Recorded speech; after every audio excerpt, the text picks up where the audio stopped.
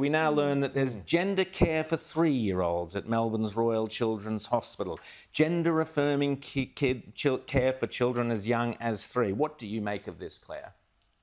Oh, I, I, think it's absolutely crazy that this is happening in Australia, while everywhere else in the world, the ways in which um, children with gender dysphoria are being treated is under the microscope and being reviewed consistently. And in many instances, the gender affirming model, um, the model that by which a, a, child's gender identity is affirmed rather than um, their biological sex, this model is being rolled back in uh, other jurisdictions overseas because there have been independent reviews, there have been inquiries, and they have found that these models aren't necessarily providing the best possible outcomes to young children. So once again, I find it absolutely staggering that we are living in a country where frankly, people have their heads in the sand about this. No one wants to be looking at this issue. No one wants to be talking about this issue. Mm.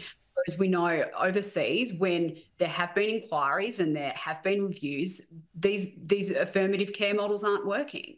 Oh, it's crazy to have three-year-olds, three-year-olds involved in this. Uh, I think Australia is an outlier now with the rest of the world. The rest of the world's uh, smartening up.